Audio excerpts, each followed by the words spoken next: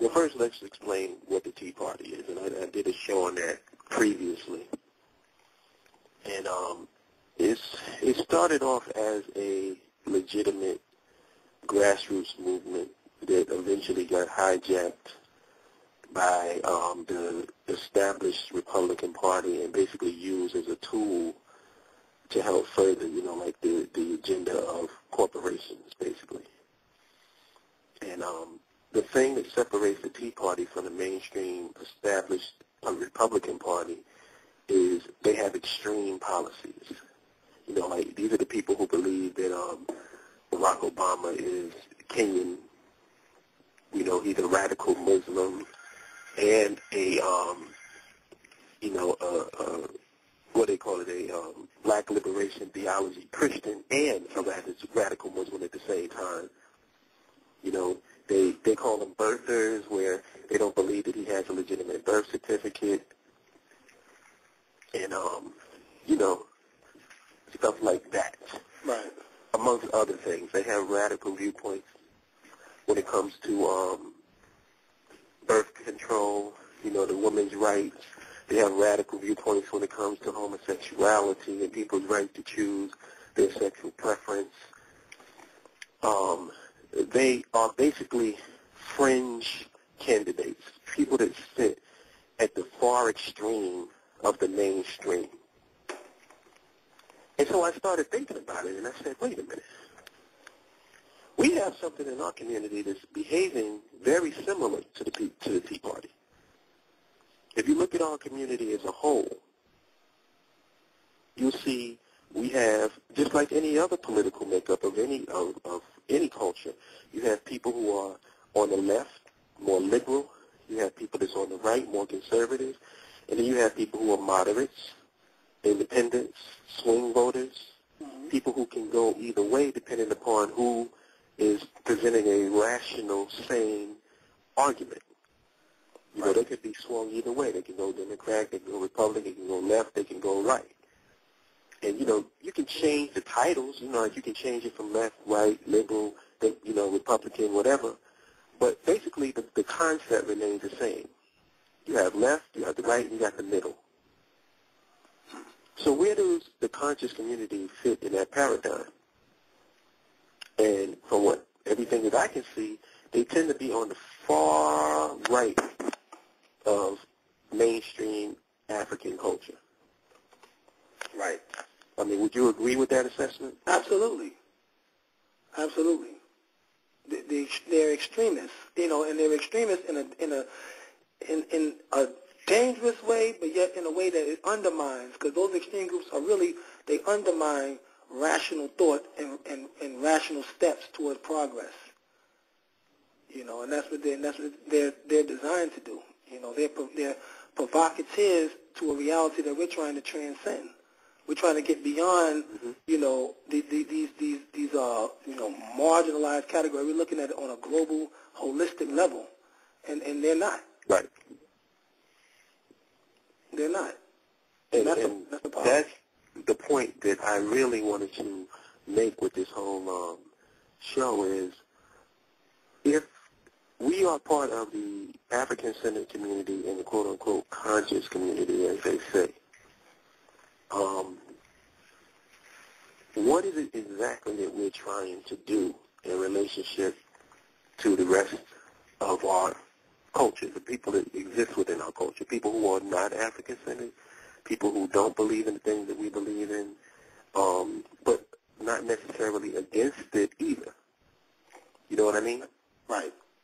People who don't really have any, um, you know, enough knowledge about it, who who probably haven't been in the right circles where they can be influenced by this type of information, or maybe they just have a negative experience with the type of people that we're talking about, and now they decided to, you know, screw the conscious community, screw African-centered consciousness, and I'm just going to do me. Right. There's a lot of that. You know, they're the reason. They're the they're the barrier. It's almost like with the old five percent lessons, the ten percent. They're they're keeping the you know the 85 from reaching or from the five percent reaching the 85 percent. They stand in the middle. They're the buffer. Right. Now, I had um, presented something um, on Facebook. I had posted a status message saying that if you want to have appeal to the masses or get more numbers in terms of the message that you're sending out to people, because um, we are sending a message. You know, like if you're in the African-centered community, you are preaching. You're preaching to people. We're doing these shows because we're trying to reach people. Um, so you're trying to get more people recruited into your way of thinking so we can move on that way of thinking. Now, if you're going to do that, the best approach that you should have when it comes to that is you should have a, a big tent approach, meaning I wouldn't stick, you should kind of stay away from social issues, stay away from religion, and stay away from the main things that divide us, and concentrate more on the common, um, the things that we had in common, the common denominator, the things that affect us all. Right. Like me and you were talking about this before, and I asked the question, if you are a Muslim, can that kufi be slapped off your head by the cops? Yes. If you are a Hebrew Israelite, will they have your karate suit on the ground stomping you out? If you Yes. ask the police. Yes. You know, if you are a Christian, or if you're a Christian, can they snatch your cross off your neck and slap the shit out of you? That's if right. you are someone who practices traditional African religion or whatever, or, or you're into the Kemetic science, can they take your ankh and shove it up your ass? Yes. So I think once we start seeing, oh, let's let's go, let's continue. If you're homosexual, brother, are you immune from having the cops fucking with you, No. Violating you your rights, you more. you down? You, you, can you Yeah, get your more, can you, can you get your fez slapped off your head? You see, that's what I'm So talking when you, when you really break it down, son, when we look at and we look at all of these things that affect all of us, we all have a lot in common. we have a lot. More than we have different. So instead of concentrating, hmm yeah, go ahead. No, no. Instead of concentrating on our differences, we should be. Con- I was just. It's funny that today I took my I took my um my kids to the park, and there was some Hebrew. There was some Hebrew Israelite brothers, and, and they had their family out there. And these were a different set of Hebrew Israelites than the ones that's on, that was on 42nd Street.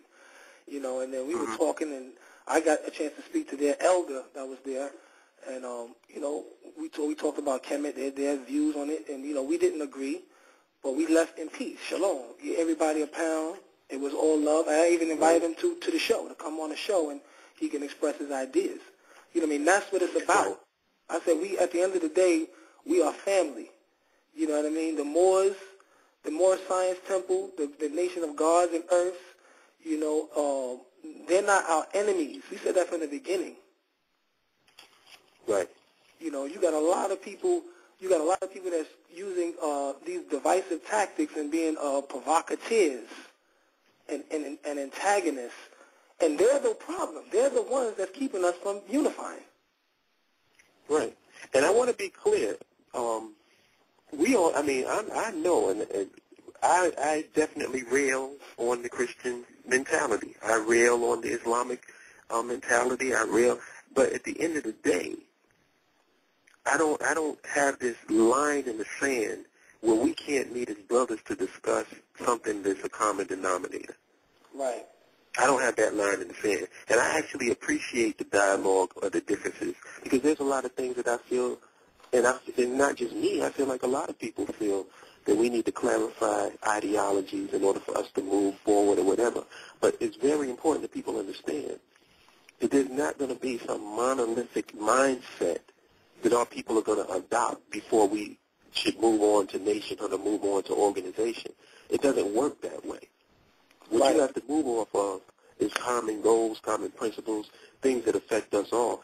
And when you look at the big picture from that level, um, you'll find it'll be a lot less divisive